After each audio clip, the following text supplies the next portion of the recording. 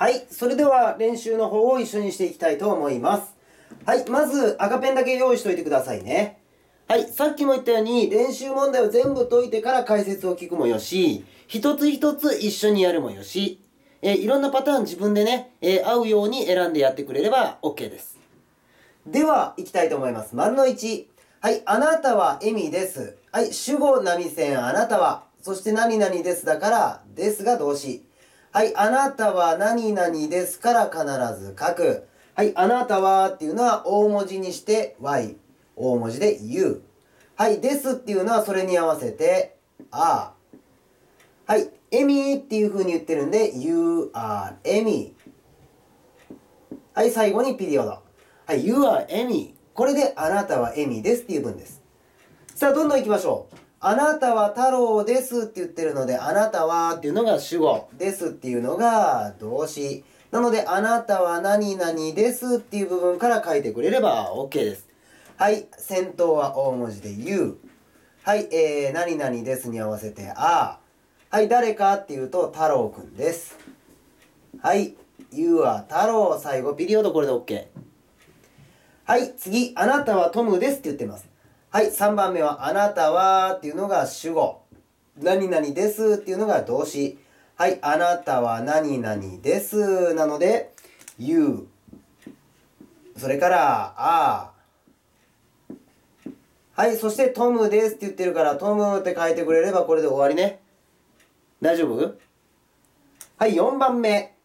はい、あなたは静岡出身です。え自己紹介の文、前回のね、え1回目の英語の授業の時には、出身っていうの大事だよって話したの覚えてる？はい、それを、えしっかり確認をしながらいきたいと思います。はい、あなたはっていうのが主語で、ですっていうのが動詞なので、ここは変わりません。はい、あなたは何々ですって言ってるから、え you are。これ OK でしょ？はい、出身ですって言ってるんです。はい、静岡出身っていうので一つなので、えー you are の後ろは、静岡の前に、from ってつけるんだったね。はい、you are from。これであなたは何々出身ですっていう文です。はい、あとは静岡出身って言ってるから、from 静岡と。はい、you are from 静岡。これであなたは静岡出身ですと。はい、同じように次いきます。あなたは5番目。えー、浜松出身です。はい、あなたはが主語、そしてですっていうのが動詞。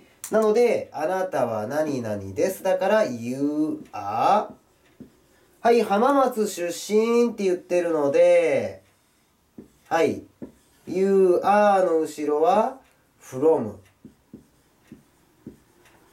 はい、あとは浜松と。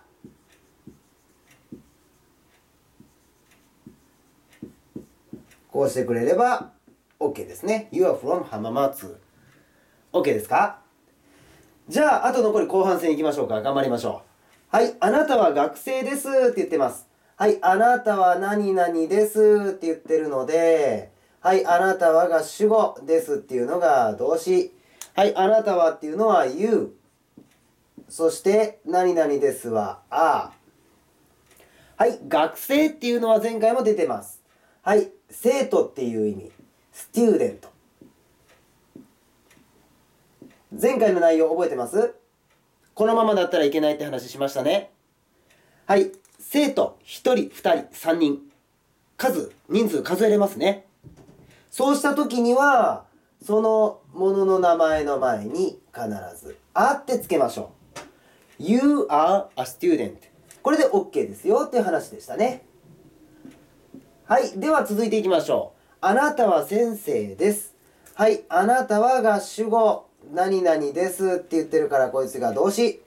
あなたは何々ですって。はい。You are です。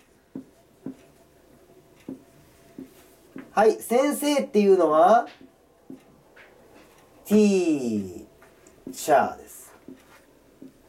はい。先生も一人二人って数えられるから、その teacher の前に必ず、あをつけて、You are a teacher。これで OK ということね。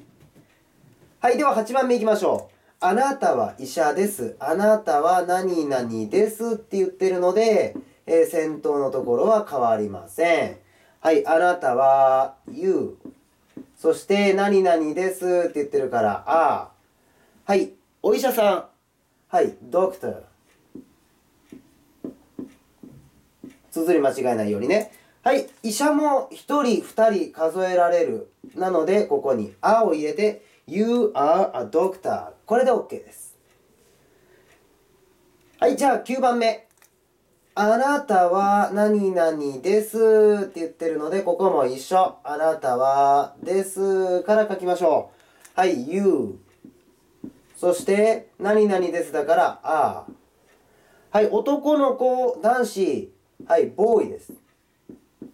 はい、少年も1人2人数えられるので、その前にあをつけて、You are a boy。これで OK です。最後、ピリオドね。はい、最後、10番目。あなたは女の子です。あなたは何々ですって言ってるので、えー、先頭、そして動詞の部分、大丈夫ですね。はい、you are はい、少女。はい、girl。はい。さあ、ただし数えられるので、あをつけて、You are a girl。最後はピリオドね。はい。さあ、えー、練習問題の解説自体は以上なんですが、えっ、ー、と、前回の自己紹介の時にも伝えたように、I am なんちゃらっていうのは、I と am くっつけて、I'm ってやることできるって言ってたね。